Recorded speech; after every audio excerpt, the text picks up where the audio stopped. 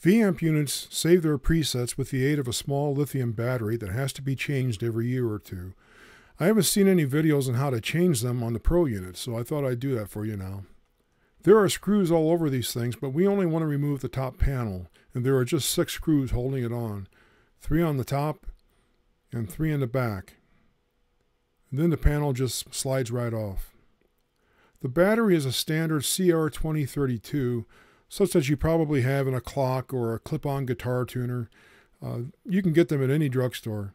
The brand that comes standard in Behringer V-amps is made by Unis, a company I'm not familiar with, and I have to say that it, they're a bit difficult removing from the slot. They seem to be made a tiny bit larger than most other brands of CR2032 batteries for some reason, so you may find you have to work it a bit to get it to come out. There's a metal spring retainer at the bottom of the slot that comes toward you when you push the battery downward to facilitate removal.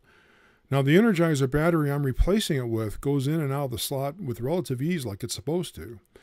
Note that the plus sign is toward the back of the unit.